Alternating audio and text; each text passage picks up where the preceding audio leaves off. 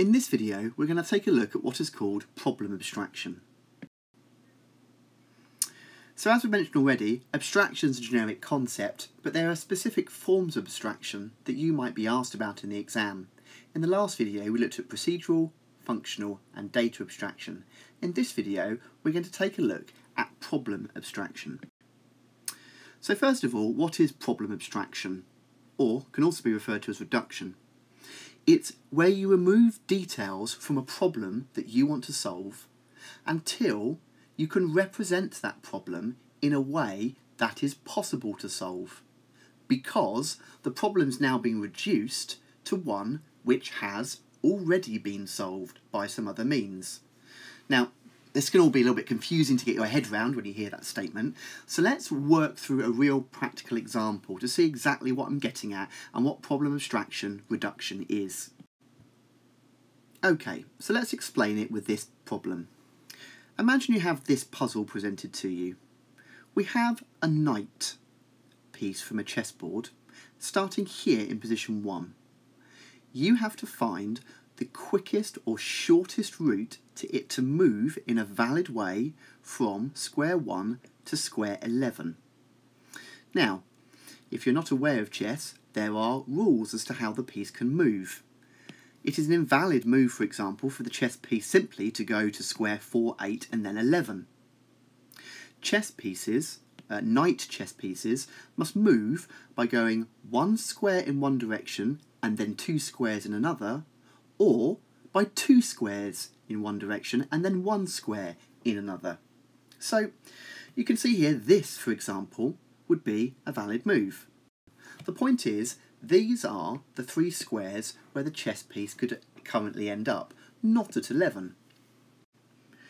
Now, at this point, you could say to yourself, okay, so let me just try and figure this out. Um, how about I go to 7? Okay, well, from 7, I could then go up and across and up at 5 and then I could go down by 2 to 12 and along to 11. That seems to have worked so I've got a route there. Is that the quickest route? How can I be sure? The bigger this board, the more squares there are, the more confusing it will be. You'll probably find yourself backtracking, repeating squares and also not being sure which route you've taken.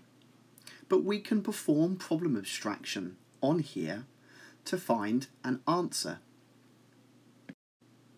So we can start turning this into a graph. From square 1, a valid route is to square 6, 9 and 7. So from square 1, a valid route is to square 6, 9 and 7. And then from each of these squares we have a number of valid paths and we can start to make this sort of diagram here. So here you can see we've started to apply abstraction. We only actually care about the valid routes the chess piece can take. So we've mapped that out here and you might recognise this. It's a graph data structure. But we can take abstraction one step further. We don't actually care about the actual physical location of each of these squares in relation to each other. We only care the paths that allow you to get from any particular numbered square to another. We can perform something here called graph unfolding to turn this graph into this. Now this is instantly a lot easier to see. For example, it's very simple now to see that the quickest route to 11 is just to whiz round the outside. Now, it doesn't actually matter whether we go 7, 5, 11 or we go 9, 3, 11. The point is we can see it's much quicker than taking either of these routes through the centre.